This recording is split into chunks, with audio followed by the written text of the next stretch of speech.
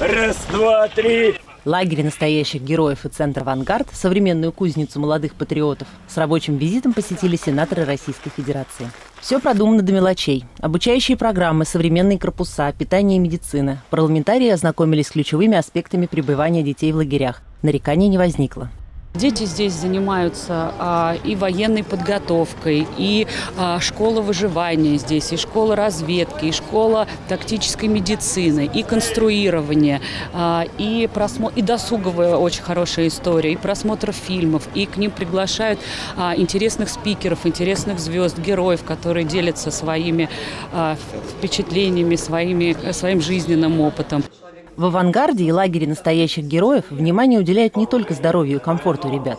Главная задача наставников – сформировать духовный стержень в детях и показать им правильные жизненные ориентиры.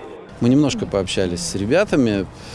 Хорошие детки, осознанный взгляд, понимаемые цели. И, наверное, это самое главное, то, что здесь делается. Потому что, когда мы приходим в подобные учреждения,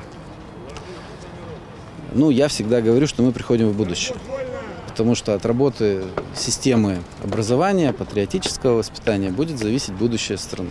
С каждым годом лагерь настоящих героев и Центр «Авангард» развиваются. Наставники постоянно улучшают программу и адаптируют ее под реалии современной жизни. Сейчас в «Авангарде» у ребят началась первая летняя смена.